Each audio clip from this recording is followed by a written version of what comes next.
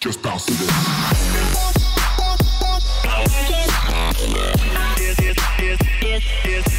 Hey, how's it going everyone? My name is Brandon Clements and welcome back to part 6 of our Substance Painter tutorial series. So, right now what we're going to do is we're actually going to jump into Substance Painter and we're going to put some dirt onto our Stormtrooper helmet. So, hope you guys are having a good day. Let's go ahead and jump in and get to it. Okay, so you can see here, um, we left off and we have our actual white plastic and our metal base. Uh, We got those separated out into different files, or um, I'm sorry, different layers, uh, so that we can individually control the paint roughness. Uh, the fill layers have like arbitrary values that we can tweak later on, and then we actually have a mask and different uh, generators for dirt to actually bring a little bit more interest to the uh, the helmet here. So I want to add another layer on top of this. Um, so we can just have this being the Stormtrooper white. I'm going to add a new folder and I'm going to call this one just dirt. And then we can add a new paint layer. Okay, so uh, right here, new paint layer. And let's call this uh, dirt base color and I'm gonna do something a little bit different. You know, um, I've actually kind of kept it pretty straightforward, but now I'm gonna actually put the roughness, um, and I'll be painting with the normal, and we'll have the color as well. So um, let's let's see here with the actual color. I'm gonna use a a different procedural texture here. So maybe the clouds 3. I feel like I use clouds 3 a lot, but it's pretty good to get some uh, variation. And we can adjust the position a little bit and you can see the contrast kind of, uh, actually not the contrast, it's adjusting kind of the histogram of how many um, mid values and dark values are going to be in there. So maybe something like that. And then here's the contrast that we can adjust. So uh, I think I'll leave it down pretty low. Um, the way the strokes are falling onto the mesh, I don't like that, so I'm going to try to uh, change that a little bit.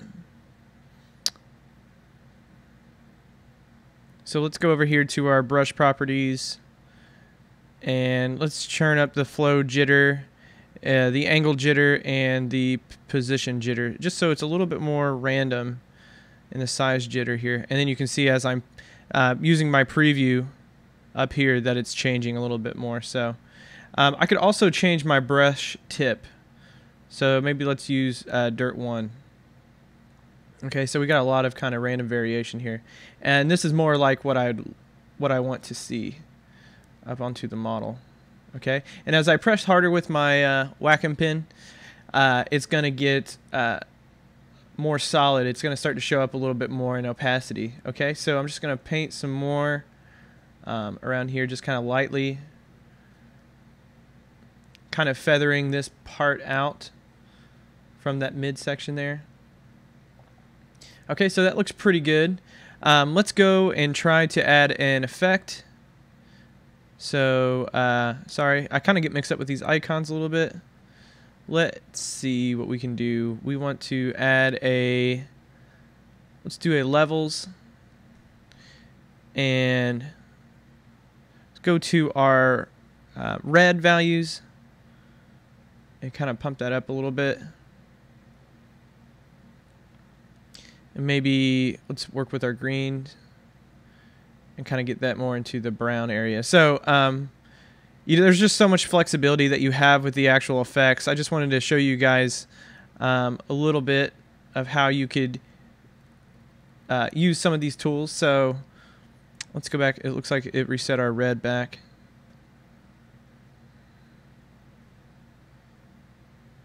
Actually, let's go to the red, sorry, and then we'll kind of bring this back up, and then we'll go to the green. I think that's looking pretty good. So let's continue painting a little bit more. Maybe some here on the nose part. And uh, it looks like having that effect on top is making our performance just a little bit slower. And it also could be the screen capture um, slowing down my performance a little bit, but not too bad. So just kind of lightly just coat this with some dirt maybe some in this crevice here. I can adjust my brush size, kind of zoom in, and just paint some more dirt variation around this this portion that's kind of a crevasse there, kind of a crevice. So let's paint some in the bottom portions.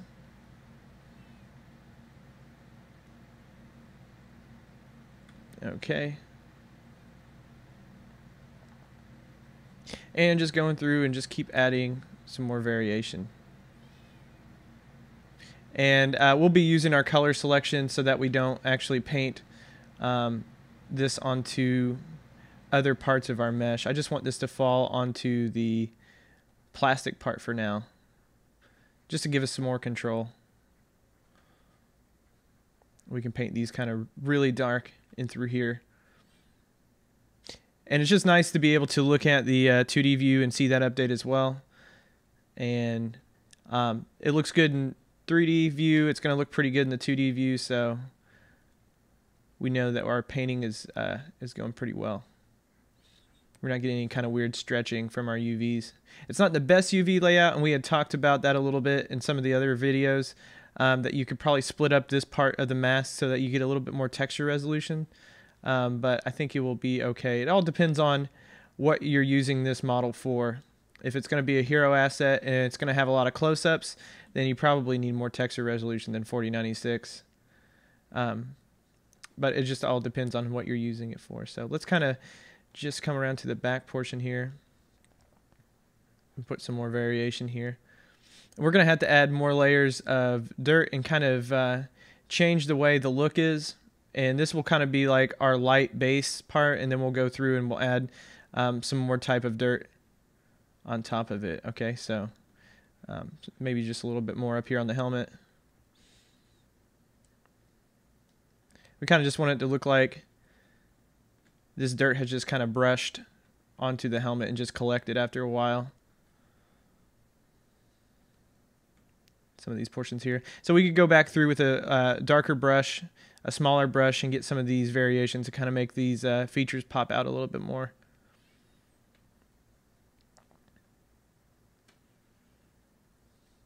Maybe there on uh, the eye portion give it a little bit more asymmetry. But it's cool to be able to um, sprinkle this dirt on top of the parts that are kind of shiny. And uh, I may want to change the environment as well. It kind of looks like it's a little overblown and I you know I could hold shift and right click and change the lighting a little bit but um, let's try a different environment um, let's see here let's maybe go up to kind of like this. It's looking pretty good. So I kind of want to just see what it looks like in some of these shadowed areas. And I'm looking at the like the left portion of the helmet over here where my cursor is.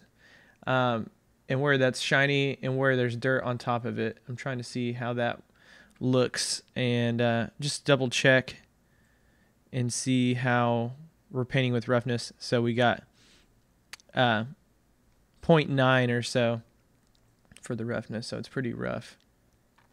So then once we've actually went through and we painted on the dirt and we got everything looking how we want it, we want to come up to our dirt folder. This is where we're going to have all our different variations of dirt. And let's go ahead and add a black mask. And then we're going to right click on that layer and we're going to say add color selection. And we're going to be able to pick that yellow.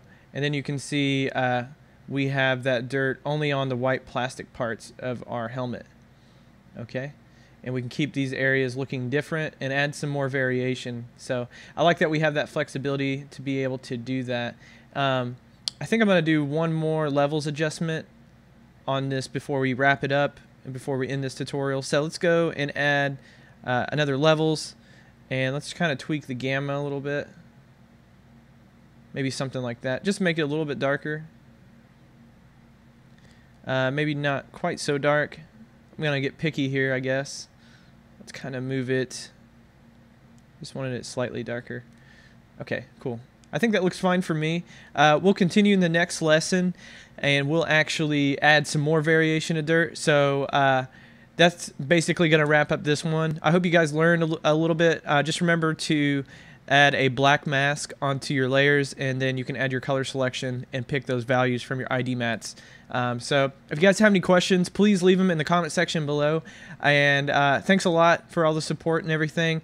And remember, you can get this scene on Gumroad for 99 cents. And remember to subscribe to our channel and give us a like uh, because that helps us. And uh, we'll see you guys in the next video. So thanks a lot. Take care.